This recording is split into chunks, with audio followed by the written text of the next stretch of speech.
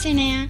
Today I'm going to be making a pop-up card using sprinkled with joy and bun in the oven stamps and dies.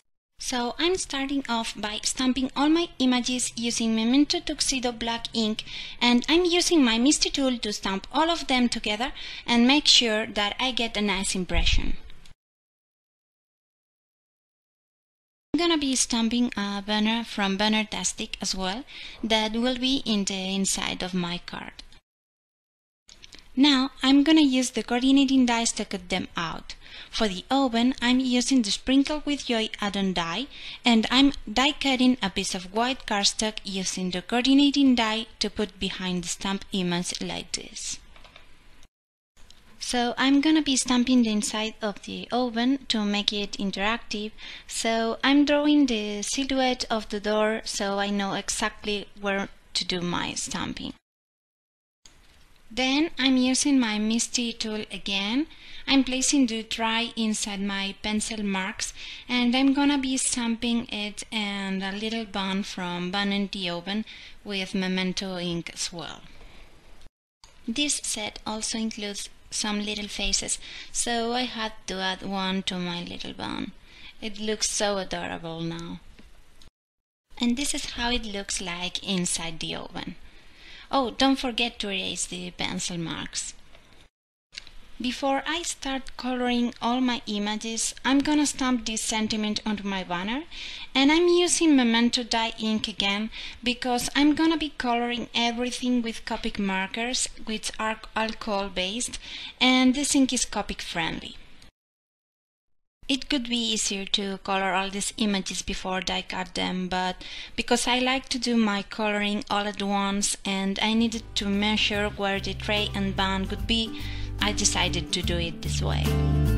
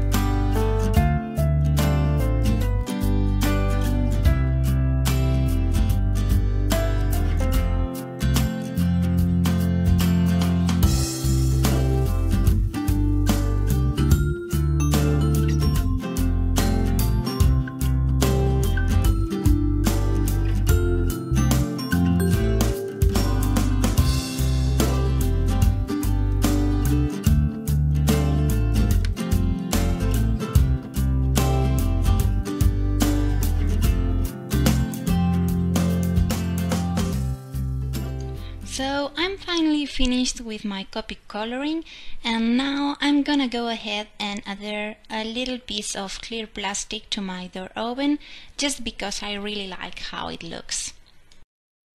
I'm using more liquid glue to adhere the two pieces of the oven, being super careful not to put any of the glue on the oven's door. Otherwise, I won't be able to open it later. And my little oven is done. Super cute. So at this point I have all my images ready and I'm gonna be working on the base of my card. I went ahead and cut this rectangle using a stitch rectangle die and a piece of watercolor wishes paper and I'm stamping a background using the images from Bun in the Oven and Fresh Lavender ink. To make it look like a pattern paper, I'm stamping some of the images on the edge so they are partially cut. Also, I don't mind about the center of the rectangle because it won't be visible.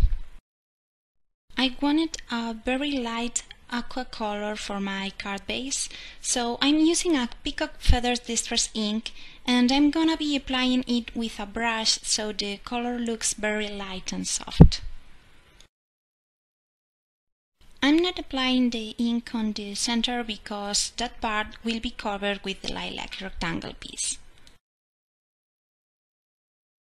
So to create a bit of contrast to the pastel pieces, I'm adding another piece of cardstock between them and I'm coloring it with Copic markers to match the colors I use in my images. This little trick is perfect for when you don't have a particular cardstock color to match your stamped images. And to put all the layers together I'm just using some adhesive tape. So, to finish off the front of my card, I'm stamping a custom sentiment created by stamping the letter from Smitty's ABCs and part of one of the sentiments from Bun in the Oven. Actually, I'm creating this same sentiment, but I want it to be bigger to fit better my oval shape.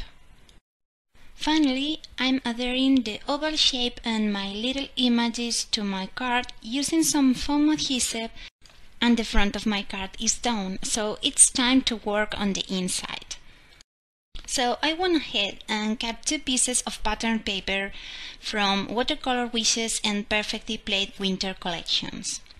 And I'm going to use some clear adhesive tape on the back of both pieces to glue them together. And using this little trick, you can create pop-up cards using different pattern papers for the top and bottom parts. So for my pop-up mechanism, I'm gonna be using one of the everyday pop-up dies, holding it in place with some washi tape and running it through my cutting machine. This tab is where my little oven will be, so it pops up when you open the card. So I'm applying some adhesive only on this part of the tab, and attach the oven there, lining up the bottom of the oven with the tab's score line. Then, to adhere this whole panel to the card base, I'm putting adhesive with my tape runner everywhere except from the little tab, so the pop-up mechanism can still work. For the inside sentiment, I'm adhering the banner that I previously stamped, and I'm also stamping another sentiment from the same set just above the banner.